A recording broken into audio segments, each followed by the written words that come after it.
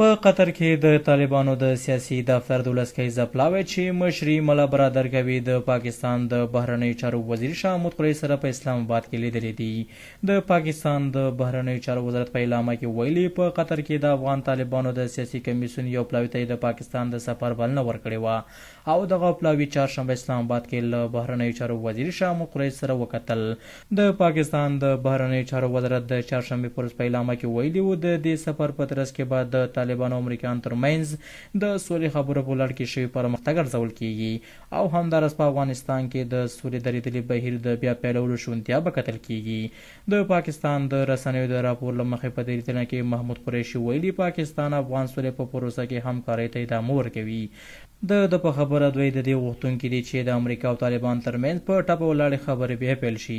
او په دې توګه روانه جګړه په افغانستان کې پای ته ورسيږي. محمود قريشي دا هم ويلي چې افغان جګړه له نظامي لارې نه بلکې د سياسي مذاکراتو پر مټ د حل وړ ده.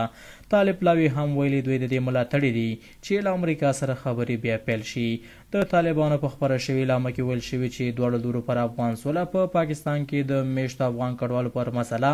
سیاسي اړیکو او د ویزو پر اسانتیاوو خبرې او بحث وکړ. په یاده اعلامه کې زیاته شوې چې د طالبانو پلاوي له پاکستاني لوري څخه افغان سوداګرو ته د اسانتیاوو برابرولو غوښتنه وکړه